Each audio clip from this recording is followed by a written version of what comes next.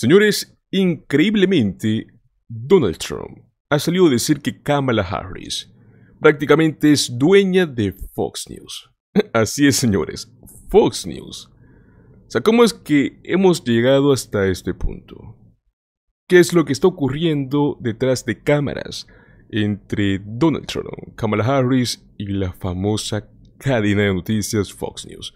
Una cadena que todo mundo sabe, ¿no? Que no es un secreto que es más partidaria de los republicanos que los demócratas. Pues bueno, te invito a que te quedes hasta el final del video porque vamos a estar desglosando toda esta situación paso a paso. Pues señores, vamos a empezar con los hechos. Donald Trump, expresidente de los Estados Unidos, actual candidato para estas elecciones 2024. Oficialmente ha acusado a la campaña de Kamala Harris de tener influencia gigantesca en Fox News.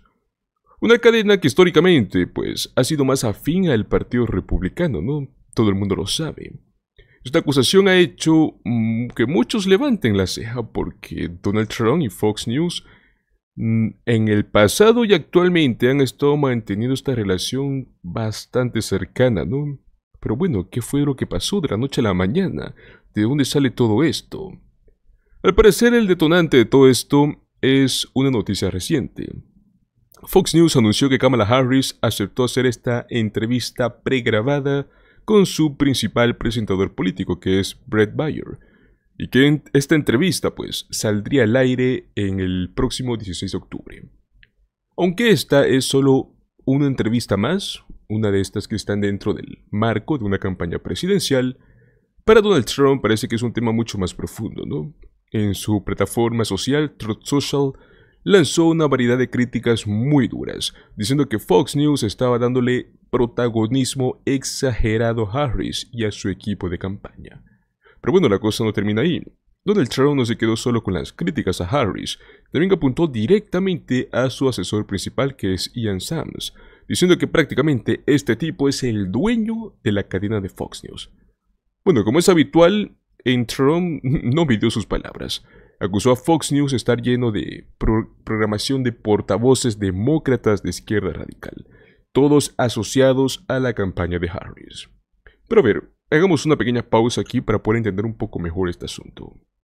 ¿Por qué es que Trump, que históricamente ha tenido esta relación tan cercana con Fox News, de repente ahora está acusando a la cadena de estar del lado de los demócratas? Si hacemos un poco de memoria, recordaremos que no es la primera vez que él critica a Fox News. De hecho, durante las elecciones del año 2020, cuando Fox proyectó que Joe Biden había ganado en el estado de Arizona antes que otras cadenas, Donald Trump no dudó y salió explotando con críticas hacia ellos. Este tipo de acusaciones, este tipo de roces entre Donald Trump y Fox News han sido intermitentes desde aquel entonces. Pero lo que llama más la atención ahora es que Donald Trump directamente apunta a Harris, diciendo que su equipo tiene una gran influencia sobre lo que Fox News muestra en pantalla. No está diciendo que sean los demócratas en sí, que es Kamala Harris y su equipo. Pues yo creo que esto se da en un momento clave, ¿no? Más que todo en la campaña presidencial 2024, donde creo que cualquier pequeño movimiento en los medios puede tener grandes repercusiones. Ahora bien, hay varias teorías. Algunos piensan que Donald Trump simplemente está buscando desviar un poco la atención de otros temas, como los que mencionan en la campaña de Harris, que ha ido tomando más protagonismo ¿no? en los medios en estas últimas semanas, ya que Kamala Harris ha estado más activa en las entrevistas. Lógicamente, pues, cualquier medio de comunicación, sea pro-demócrata, sea pro-republicano, va pues a aprovechar el momento, pues, ¿no? Para poder eh, dar, esta entrevista, no se puede quedar corto de esto. Ahora, otros creen que Donald Trump está tratando de presionar a Fox News para que le den más cobertura positiva. Bueno, pues no nos quedemos solo con lo que dijo Trump. Lo interesante de esta historia es que el equipo de Harris tampoco se quedó callado, ¿no? El mismo asesor principal de Harris, Ian Sams, respondió rápidamente a las acusaciones de Trump. Lo hizo directamente a través de las redes sociales. En un post bastante directo lanzó una pregunta incómoda para Trump. Ha pasado un mes desde que Donald Trump concedió una entrevista a un medio de comunicación convencional. tenemos que preguntarnos por qué. Entonces, este comentario ya pone sobre la mesa un tema que ha estado flotando pues en el aire, ¿no? Durante un tiempo. La falta de entrevistas por parte de Trump en medios que no son abiertamente favorables para él. Mientras que Kamala Harris ha estado apareciendo prácticamente todo tipo de programas y plataformas, sean pro-republicanos, sean pro-demócratas. Trump parece estar evitando ciertos medios más críticos. Y la, campaña de Kamala Harris está aprovechando esta situación para poder cuestionar si es que Donald Trump tiene algo que ocultar. Lógicamente, esto no es todo. Ian Sams fue un poquito más allá y tocó un tema que creo que es más delicado, ¿no? Que es el tema de la salud de Donald Trump.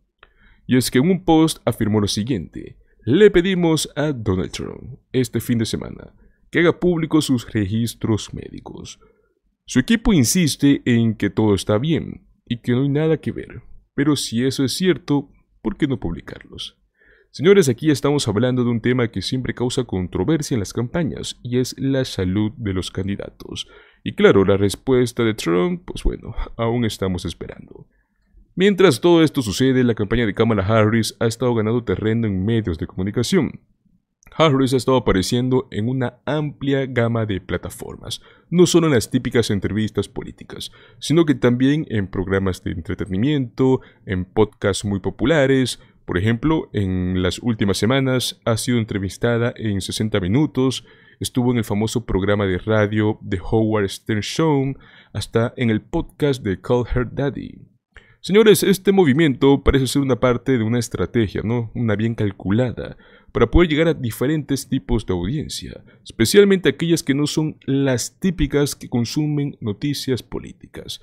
Y aunque muchos imagino que se preguntarán si es que esto de algún modo le darán una ventaja en las elecciones, lo cierto es que Kamala Harris está logrando algo que pocas campañas han hecho antes, y es diversificar su presencia en los medios, conectar con votantes de distintas generaciones y distintos estilos de vida. Esto lógicamente no es casualidad, porque estamos a pocas semanas de las elecciones presidenciales, y Kamala Harris necesita consolidar su imagen frente a un electorado que se está mostrando pues muy dividido. Pero lo más importante aquí es que su campaña está buscando tener presencia en todos los rincones mediáticos posibles. Ahora pasemos a uno de los temas que más interés genera cuando se trata de elecciones, ¿no? Las encuestas. ¿Cómo van las cosas entre Kamala Harris y Donald Trump? ¿Quién está liderando? En las últimas encuestas, al menos por parte de NBC News, publicadas este domingo pasado, revela que esta carrera política está más reñida que nunca. Tanto entre el 4 y el 8 de octubre se encuestó a mil votantes registrados en todo el país. Los resultados nos muestran un empate estadístico entre Donald Trump y Harris, ambos con un 48% de apoyo. Este mismo resultado es interesante, porque en encuestas anteriores, realizadas en septiembre, Kamala Harris tenía una ligera ventaja de 5 puntos sobre Trump, pero este último resultado muestra que la ventaja ha desaparecido. Pero ¿qué es lo que no muestra? Es que la ventaja de Harris ahora se ha esparcido en estados péndulos. Los estados que son los que podría considerarse que deciden las elecciones. Así es, mis amigos. Hasta aquí más o menos un repaso de lo que está pasando entre esta guerra mediática entre Donald Trump, Harris y Fox News. Ahora quiero saber cuál es tu opinión. ¿Crees que las acusaciones de Donald Trump sobre la influencia de Harris en Fox News tienen algún tipo de fundamento o es tan solo una táctica política? ¿Y qué opinas sobre la petición que se le hizo para publicar sus registros médicos? Déjamelo saber en los comentarios aquí abajo. Y recuerda que si te gustó este video no olvides suscribirte, darle un like y compártelo con tus amigos, para que también estén al tanto de todo lo que está pasando en esta campaña presidencial que es muy intensa. Nos vemos en el próximo video. Hasta luego.